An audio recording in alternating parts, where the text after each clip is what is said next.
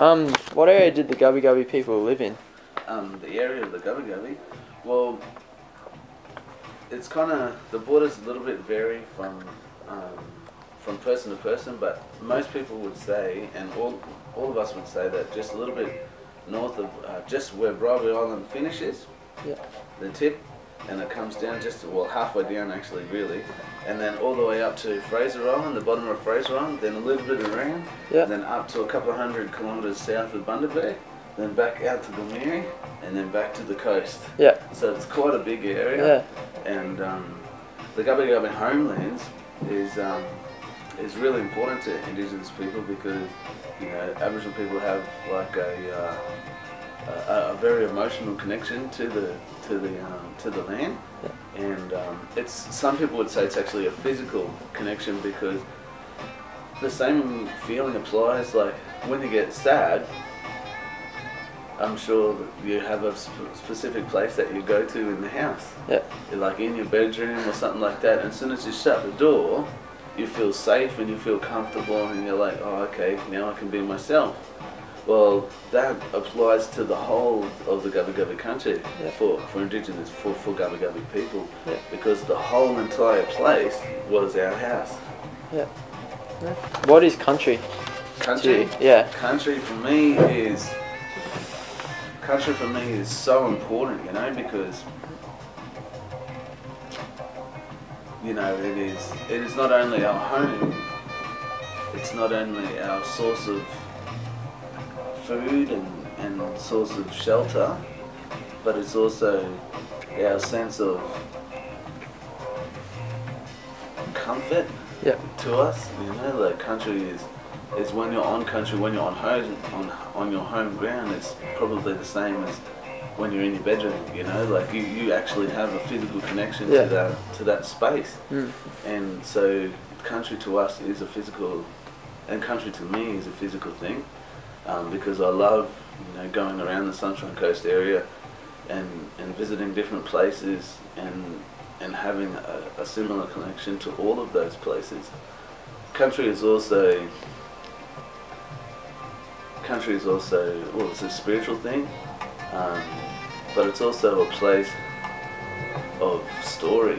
You know, Yeah. country is is because the mountains and the rivers and stuff are actually our stories, and our stories are our country, and our country and our stories are you know our way of life and our culture and our and our and our, and our sense of belonging, our sense of you know like knowing where you come from is something that is very very important for all of us. You know, for all of us, knowing our ancestors and our history, you know, it makes it, for lack of better words, it makes a brother proud. You Yeah, know, like, yeah. You know?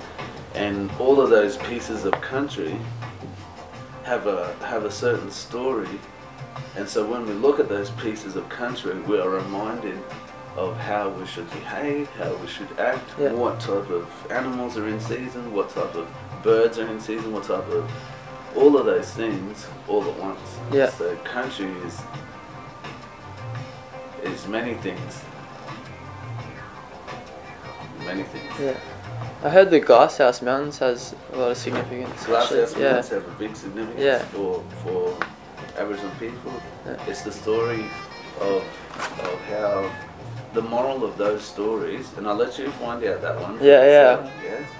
The moral of those stories is, you know, to, to always be with your family, to protect Yeah. your family, and to to rise up. You know, like to to um, you know, to to to have courage when when sometimes when it's really hard to have courage. Yeah. Yeah. Yeah. Um, and what is the importance of sharing your culture with people?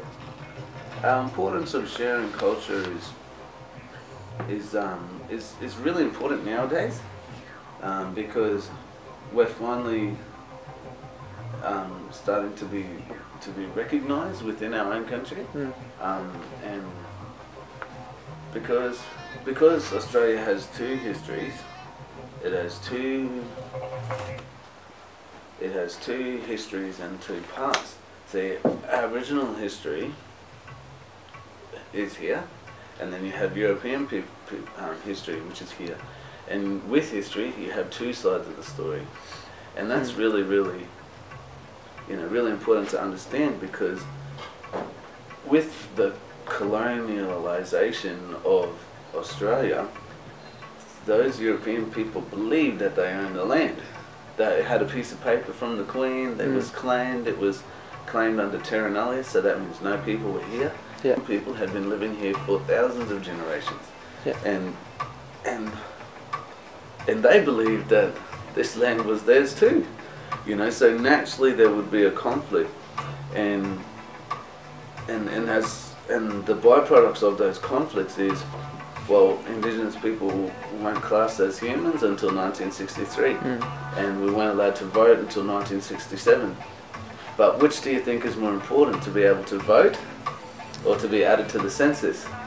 Yeah. To be added to the census is something that's really, really important because you're counted. Mm. And, well, that's the birth of Aboriginal funding because before then, no Aboriginal funding was available.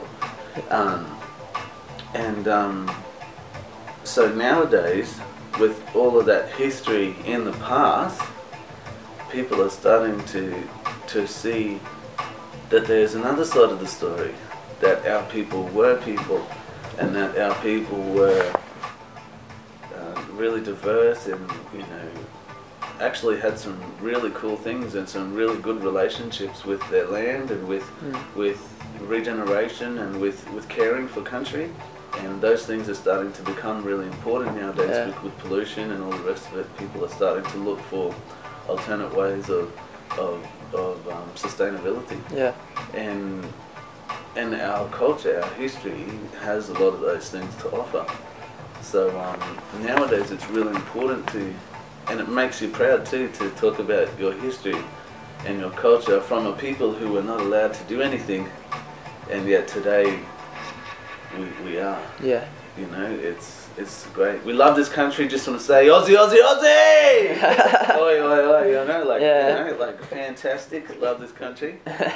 Um, and it's and we, and it is. We're very proud to, to talk about our some of the little things in our culture that can help all of us. You know, to, to build a Mm. better community and a better Australia for, Yeah. for our children. yeah. Um, are you a spiritual person? A spiritual person, I would have to say yes.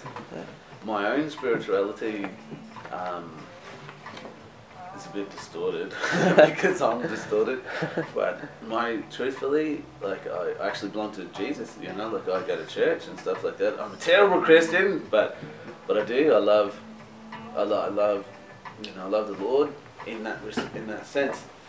But I um not but I do, you know. Though um, with with in my own walk with the country and things like that, I don't separate myself from the land. You know, like Mm. you, you know, a lot of people will build a house and separate themselves from from the things outside. You know, and and completely build their own little tiny habitat. You know, inside their own little world where. Well, I try not to do that. You know, like I like the wild.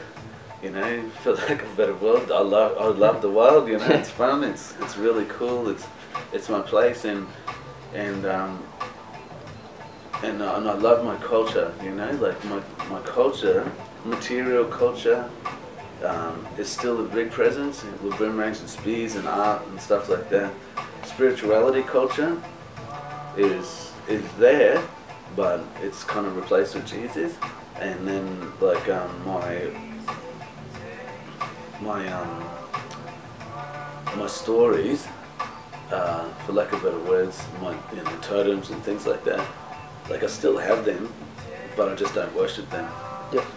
Yeah.